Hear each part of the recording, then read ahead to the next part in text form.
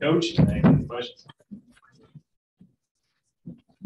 Just, uh, I thought Connor pitched really well and, uh, you know, they, they, they got him with a, with a couple outs, you know, the, the top of their order is as good as any in the country with Morgan Crews and Berry. And, you know, even the cleanup hitter, he's, he's got big numbers as well, but, you know, Connor, inning happened so quick. We did really didn't have a chance to get anybody loose. And, uh, you know, hindsight's twenty twenty. Maybe we needed lefty uh, hot there for for a hitter, but uh, you know, good job by our guys fighting back and putting the bat on the ball with two strikes and making him feel the ball. And uh, you know, it looked like early we had a chance to put him away, bases loaded, two outs, and Robert lines out to second. You know, you're thinking at the time the way Connor's going, well, if we get a hit right there, we double this lead to four, four nothing. You know, we're in pretty good shape. And sure enough, you just kind of knew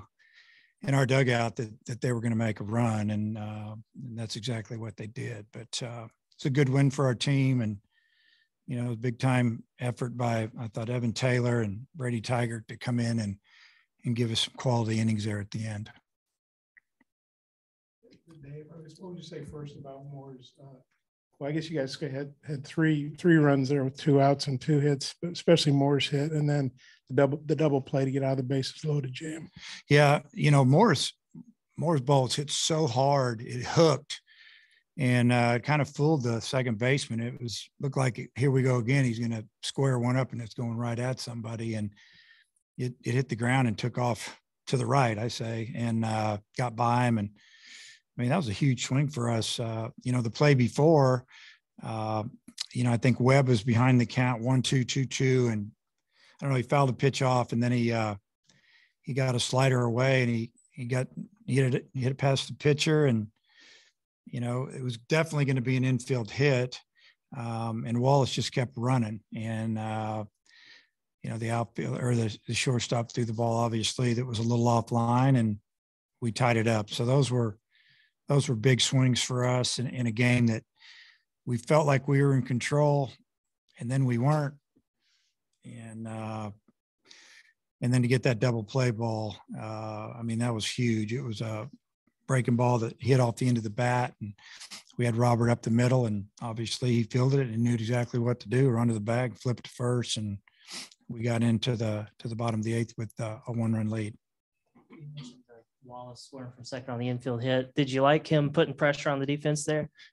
Yeah, I did it just because hits were hard to come by, and you know their their bullpen's been really good lately, and uh, you know they they kept bringing them in left and rights and velo guys, and sometimes you just have to take a chance, especially ground ball. Ball's probably a little wet by the time he gets it, and uh, you know it worked out. with Moore, uh, he hit into the shift earlier in the game, had a good at bat there.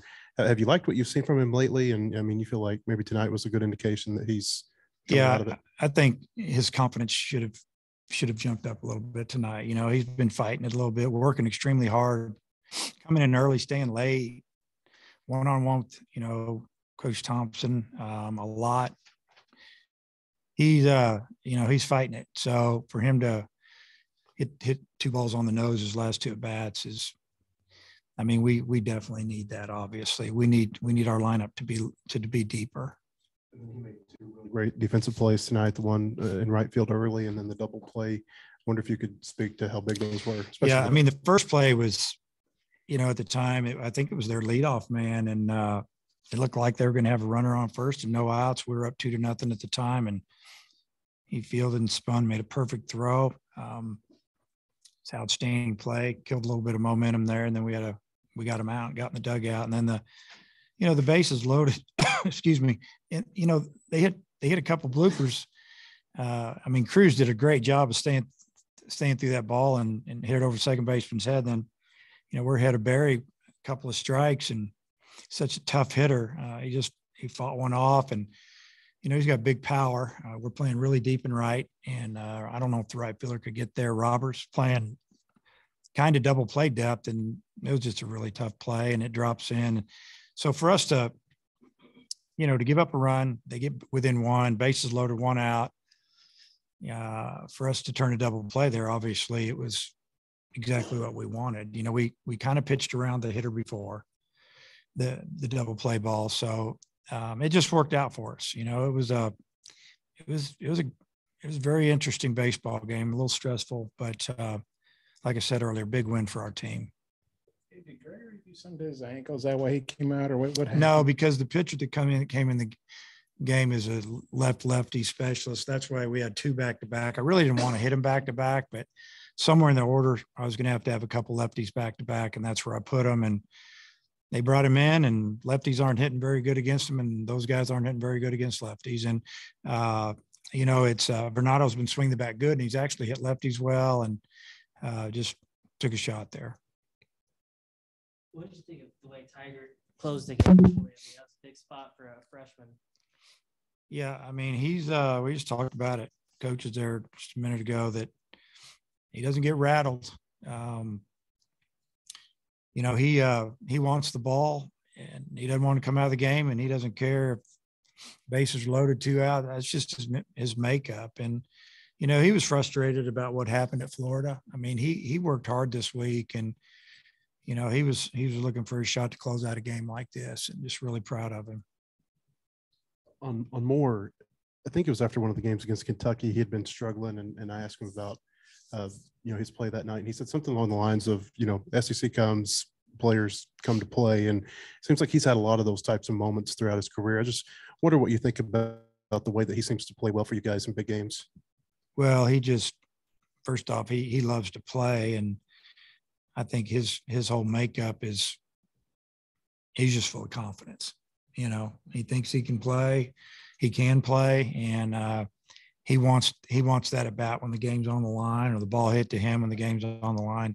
It's just it's just kind of his his DNA, his makeup. You know, I mean that's what he's all about. He's you know he wants to be in the middle of the action, and you got to love that as a coach.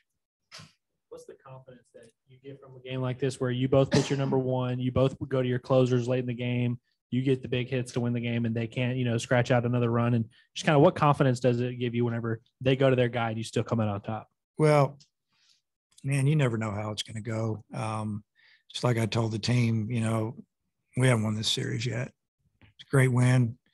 I know it's Thursday night, but I said that's what you get on Friday nights in the SEC. It's usually going to be tight. And, you know, somebody's going to get a big hit or somebody's going to make a mistake, and that's going to be the difference in the game. And, uh, you know, I mean, winning a game like that when, uh, it's hard to lose a game like that if you use a lot of your guys, you know, your pitchers, your bullpen, and you still you worry about it a little bit. But uh, you know, I mean, we still got a lot of work to do, but it, it's definitely a, a confidence builder for our team.